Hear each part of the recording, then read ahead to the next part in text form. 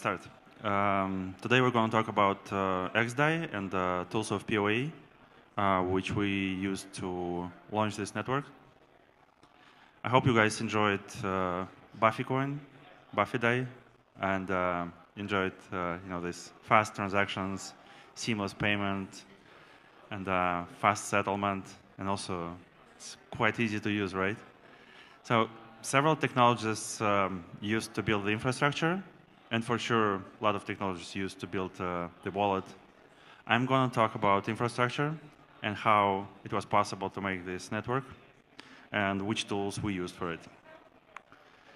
So for, for you guys who are hacking, uh, I'd like to say that we have uh, 5,000 uh, USD uh, worth of DAI for the top 10 dApps deployed on POA network or XDAI, plus one special prize for the best uh, zero-knowledge solution for POA or XDAI. So criteria is very easy.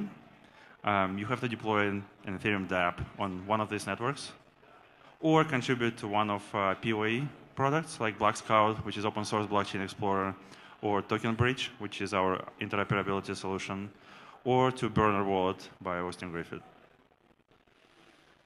So quite easy, right? Just deploy an app, and you can participate in our bounty.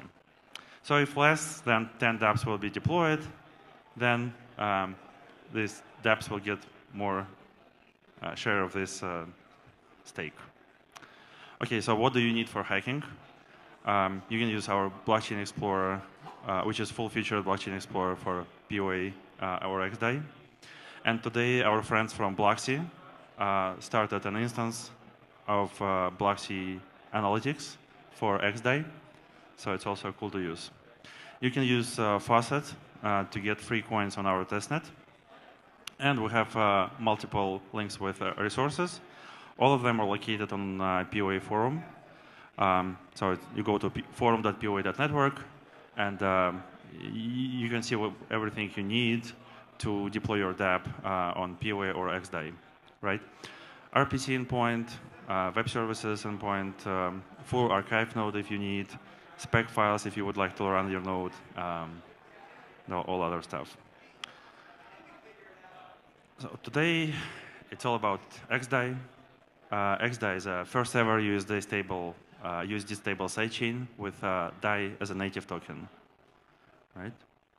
So it started uh, uh, as a project, as a hack project on ETH Berlin and um, today we have it live, and it's used for uh, payments. So that's kind of cool, right? Um,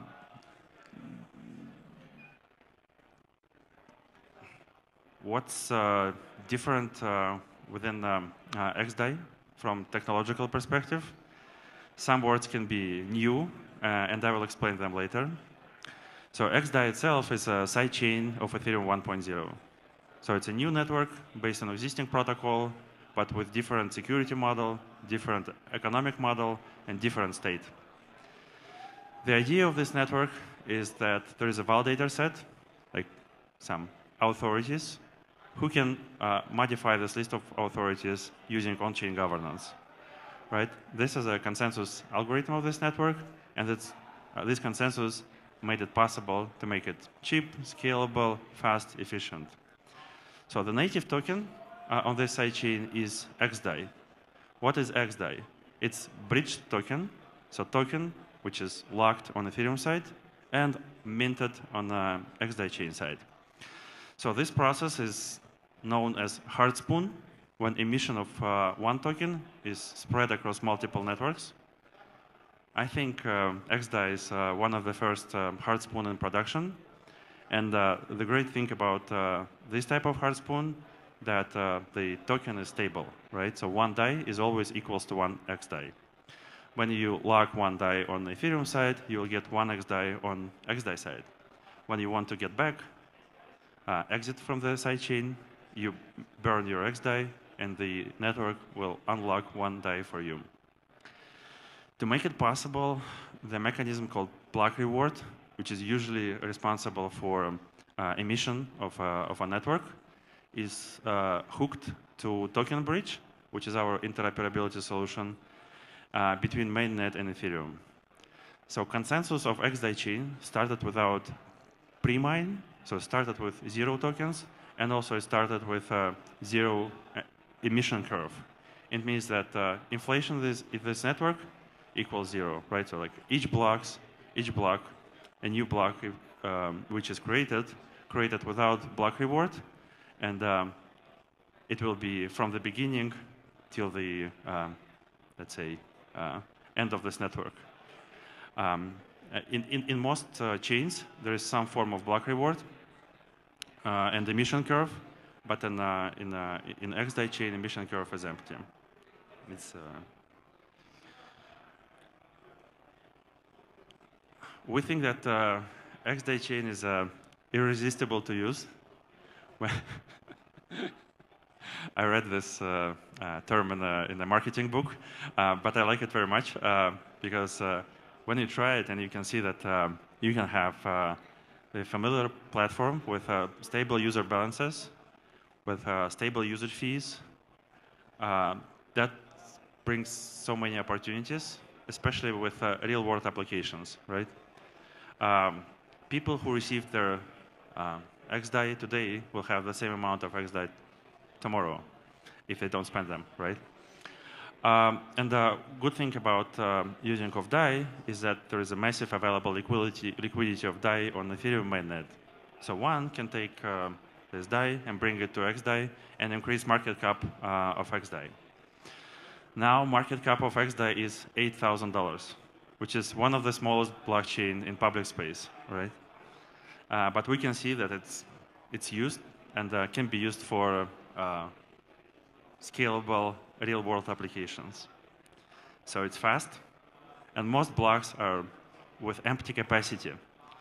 Before, we used the word empty, but I think empty is not, is not a good word because when you think empty, like no one's using it. Here it's a bit different. When you have empty capacity, it means that network is ready to accept your transactions. And execution is very inexpensive.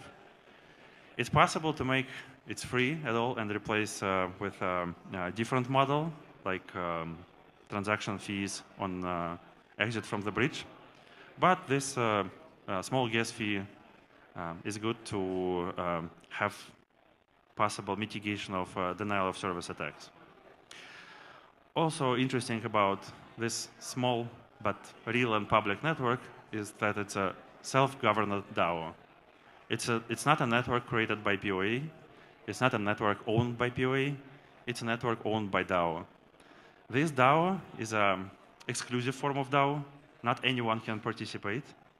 Um, but people who are in DAO can invite new members to this orga organization.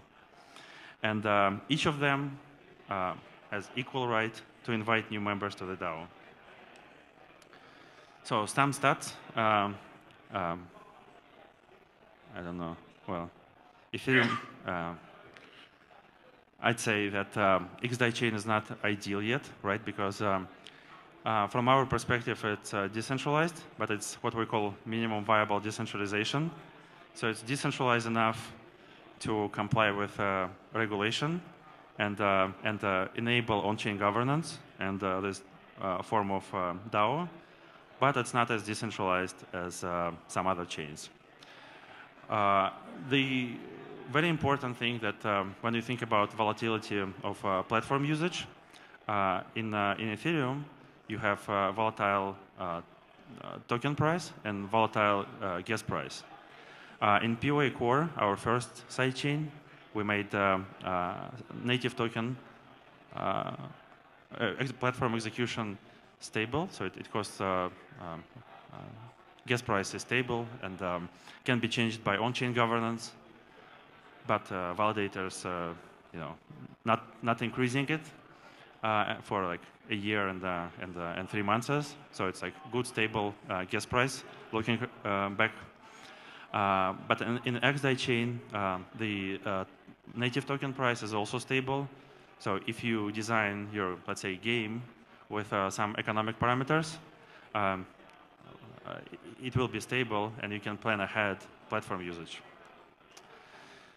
Uh, this is not from uh, marketing book, uh, but I'd like to add that it's irresistible to scale.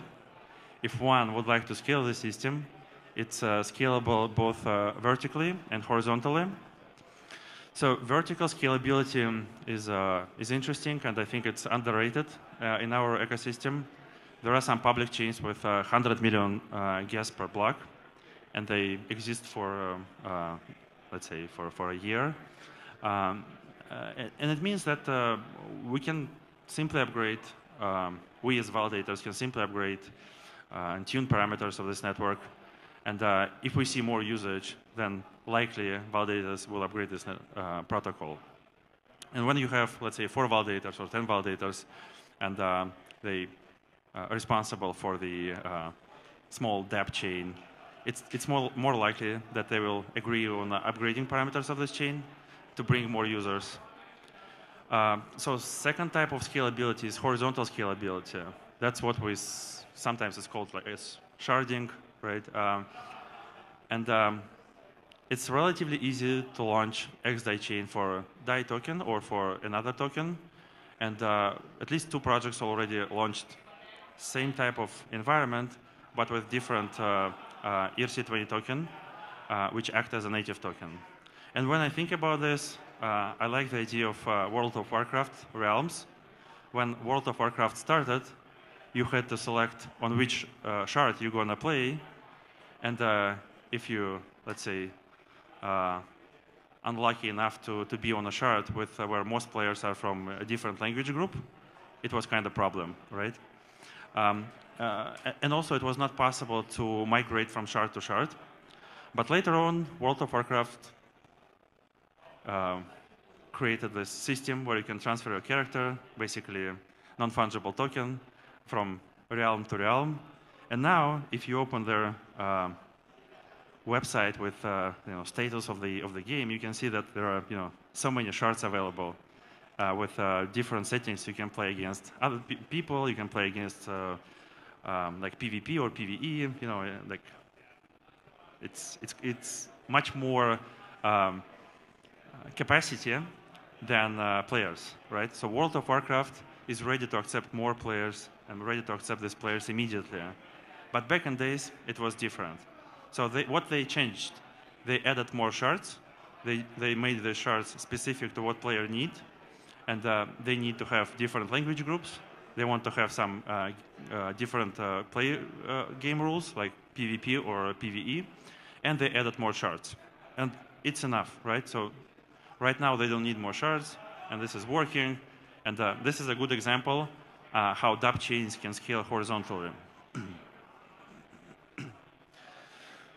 so now we'll, I will show you some um, underlying technologies uh, for, for, for, uh, for XDAI. So let's start for, from governance, because it's uh, the most important part of, of our consensus. the main question people asked when we launched XDAI, who are validators? So this information is uh, available using a dApp or acquiring smart contracts. And this information um, available from, from the chain. So there is no like uh, uh, database between this dApp and, uh, and the public RPC. So all information public, from public RPC. Um, you can see that uh, at XDAI there are four validators. Um, Giveth, uh, uh, MakerDAO, and Protofire. And it's, it's possible to add more validators each validator from on this network can propose a new validator, and the majority of uh, validators are required to onboard new validator or remove validator from the network. We can see some past governance decision, how validators voted for, uh, for governance decisions. So the, uh, the last one was a, a change of uh, uh, implementation of uh, reward by block contract. Um, we proposed it to mitigate one uh, uh, bug in, in, in, parity implementation, uh, which was possible to solve using different implementation of smart contract. Validators voted for it, and this implementation can be automatically enforced on-chain. So it's enforceable on-chain governance managed by independent validators. Right, uh, here you can see that uh, uh, first of all, they uh, agreed to deploy new proxy storage contract. Uh, and before, they removed some extra validators that left from um, initial ceremony of this network.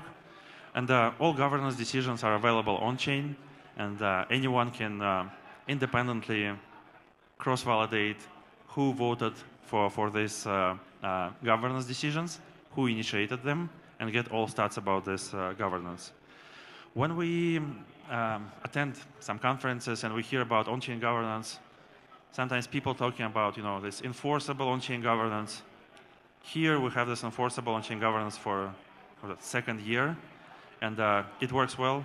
And if we switch from, from XDAI to another network, to POA core, uh, where we have much more validators, uh, 22 I think, uh, we can see that uh, um, there are ballots with, uh, uh, you know, 16 votes for out of 22 validator, 22 validators. Um, so governance mechanism not only working, but it, uh, uh, it working well on scale.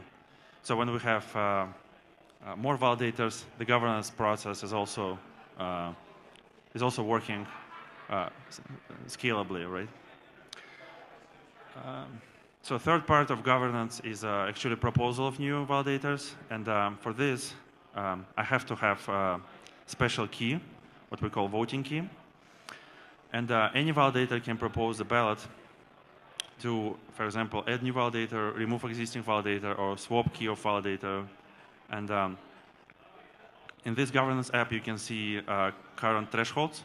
For example, to add new validators to XDAI, uh, three validators should vote uh, for, and um, and there are some thresholds to prevent uh, to prevent this governance mechanism from abuse of, let's say, malicious validators, right? Which is also possible. So this model is working for POA core, but also working for XDAI. It's scalable.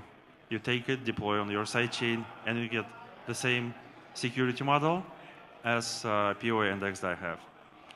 And um, when we think about proof of work networks or proof of stake networks, it's relatively hard to copy security model to new instances uh, of uh, chains, right? If proof of work, then if we want to copy security model to proof of work, of proof of work system, we have to deploy uh, new mining hardware, and uh, it's a scarce resource and uh, you know very expensive.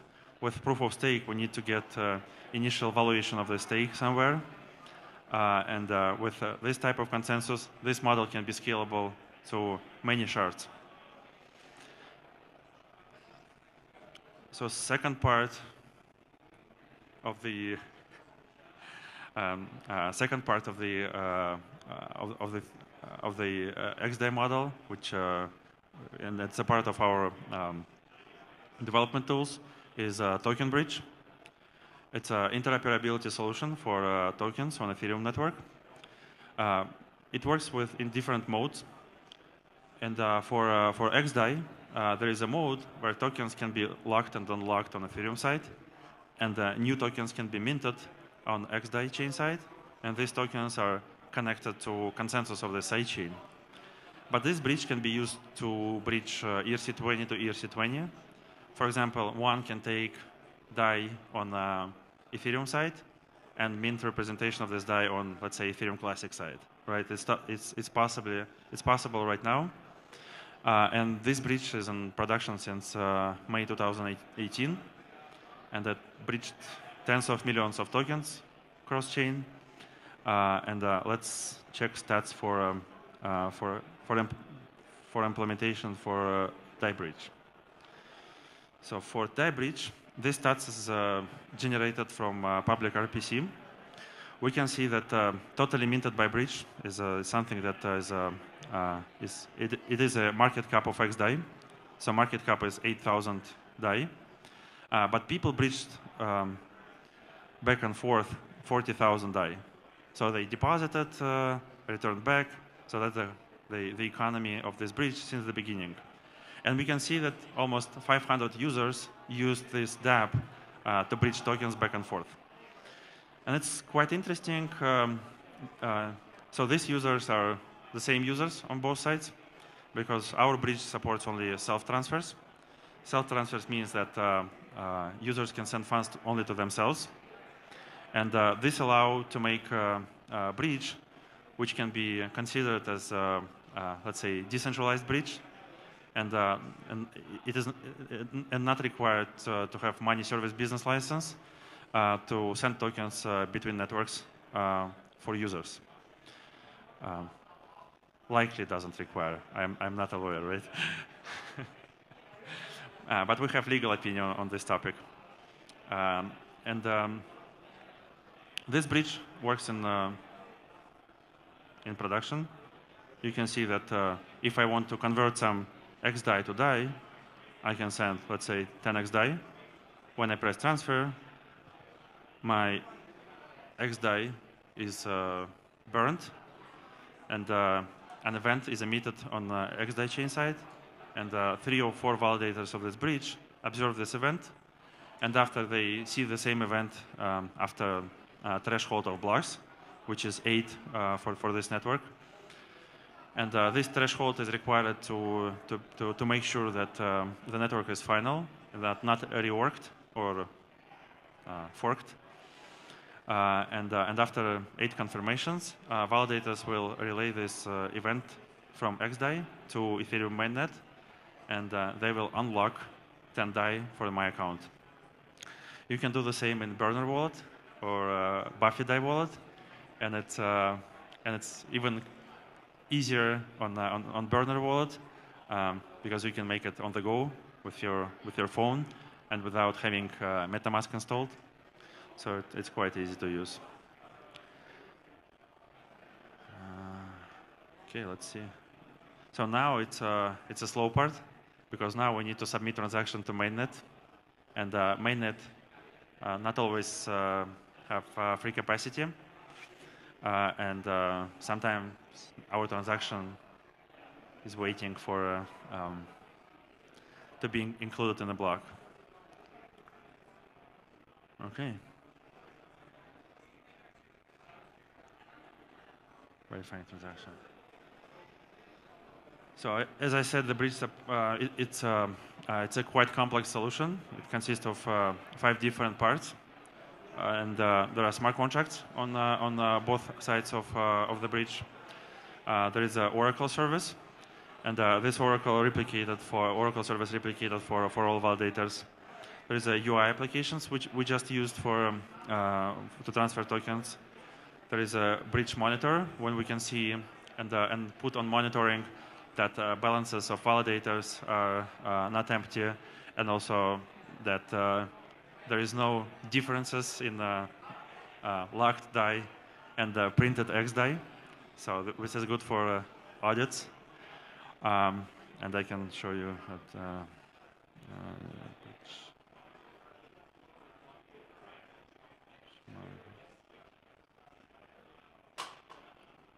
It's uh, okay. Yeah, this um, th this information is um, you, you can see um, uh, in the bridge UI you can see number of validators and the number of required signatures. So to relay transaction from um, from XDAI to Ethereum, three signatures from four, four validators are required uh, to uh, to relay this event.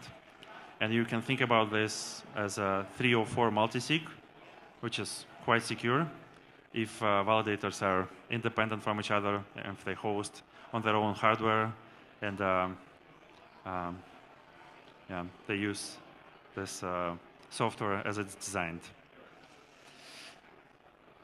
Okay, so let's let's see if if we got our. No, it's still we're still waiting for mainnet.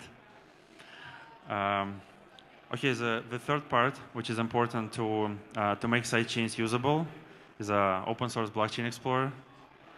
Uh, we have an open source blockchain explorer called BlockScout. It's a fully featured explorer, friendly to testnets, private networks, sidechains, open source and free, um, funded by us, uh, uh sponsored by Ethereum Foundation and uh, Gitcoin bounties. Uh, we built it because uh, Etherscan was not available to testnets, and um, it was kind of hard to add new functionality.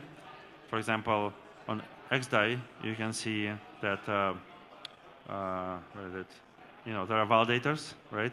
And uh, on Explorer, we might like to see who created blocks, like here, right? Like POA network created blocks, Giveth created blocks, Protofire, and uh, on Etherscan, let's say if Etherscan will host XDAI, there is no way for us to to to uh, propose these changes and uh, implement them, right? Because it's not open source. Let's see, by the way. Um, yeah, you can see the problem on Goerli testnet, which is a new Ethereum testnet. On Etherscan, all validators like, you know, zero zero, right? And uh, you know how to how to put names here. Uh, let's go to Block Scout um, and uh, switch to Goerli. And here we, know, we can see that you know consensus is validated, POA, parity, Prism Labs. So you know who created your block, right? And um, yeah, that, that, that's the beauty of, uh, of open source software, right? Um, yeah, like uh, it supports uh, all features we need to, de to develop applications. And when you think about um, sidechains, if you deploy a new sidechain and you don't have a, a Explorer for it, like full-featured Explorer, it's kind of hard to, to, develop applications, right?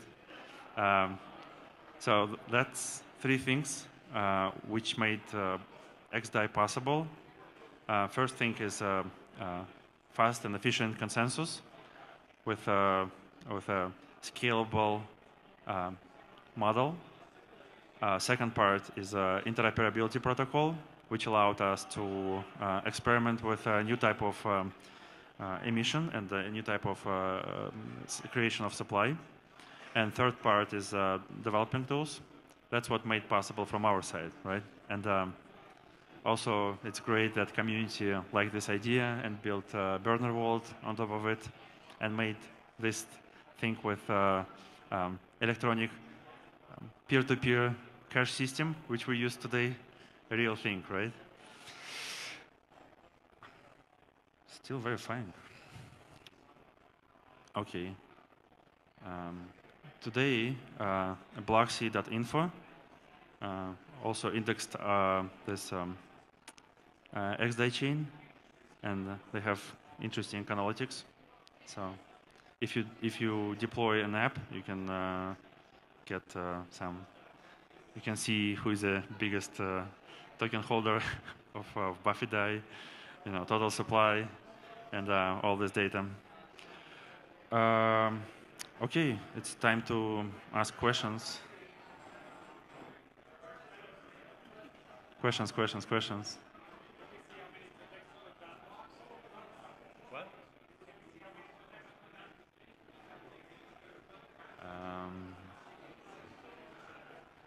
how many transactions were done today. Uh, where is it? I think it's transfer with data. Uh, that's what they use because uh, when you when you when you purchase meal, you put like meal in in a message. So that's uh, I think like uh, 940 purchases of meal during the lunch, which is great, right? And uh, what I like about uh, sidechains and, and XDAI especially, that when you look into um, market cap and total transactions and number of wallets, you can see how, how this economy, like a real economy, is working, right? It's not something like pumped on uh, on uh, on open market, like you know, uh, with uh, some some chains, where you can see tens or hundreds of millions of dollars, uh, and um, but no real usage, right? Here you can see people breached 8,000 8, XDAI and uh, created 36,000 transactions, and uh, you, make, you can make sense about these transactions by using analytics like Bloxy. Um, and um, this is a great example of um, application-specific sidechain. Like this sidechain is designed for payments, right? Uh, programmable money, and uh, different sidechains can be designed for um, uh, for different use cases. So, uh, your question? Um, yeah. So um, about Block Block Scout, uh, it's gone forward quite a lot. I noticed that the features have now like the contract verification. Um, can you actually look into like um, some content in there. And another question, like, is the block scout like if I clone the repo, is it so so that I could say, you know, run some Ganache instance and uh, have this thing in, uh, index that and, and browse around? Kind of, is it so lightweight that I could try looking into uh, what's happening in a, some, uh, If you would like to run Block Scout on your laptop, yeah, it's, it's, it's totally feasible, yeah. uh, but don't index mainnet because it will take three terabytes of uh, Block Scout data plus two terabytes of parity data. So it's yeah, like no, I was more thinking like if I run like whatever uh, dev setup um, on on like Ganache, like some Yeah. local instance, it's often kind of hard to look into what's actually going on the, in there. So this would be great. Uh, have you tried like running a block scout on like local Ganache instance? yeah, that's yeah, Okay. it's possible to run. Is there like a tutorial on that or? Oh yeah, whatever. I'll Yeah, just try it out. Yeah, you can try it out. It it it it, it's, it doesn't support uh, all uh, RPC as as parity client, especially some problems with traces, as far as I remember, with Ganache. Yeah, but yeah, you definitely can run it. But yeah, maybe better to run local parity node and uh, it's the same. Yeah, last question. No questions? Um, so no, no, no. Yeah, it's it's okay. Yeah. Um,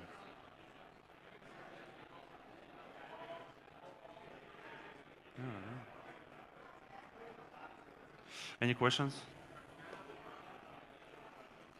So it's one xDai. Who wants to take it? Yeah, just you know, first guy will get it. Anyone? free money. Free, free. Yeah. Did anyone get it? No. It's one xDai. Next will be five.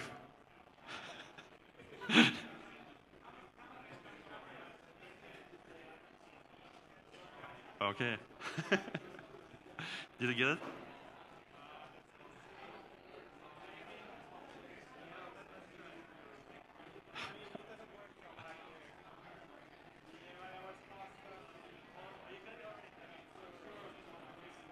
No?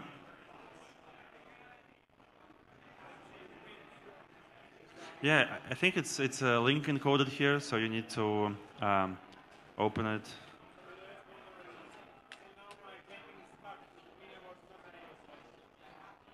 No? Okay, yeah. Yeah, someone took it. Okay.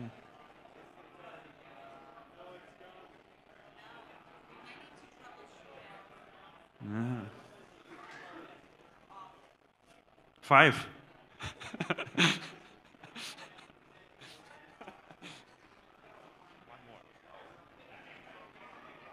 Okay. Did anyone get it?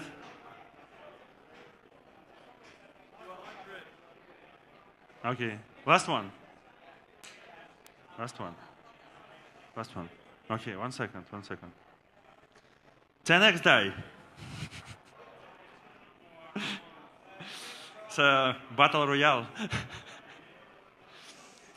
okay, guys, 10 xDai.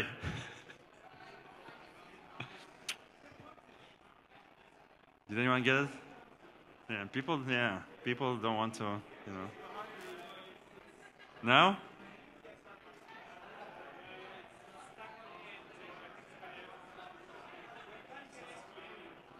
Claiming.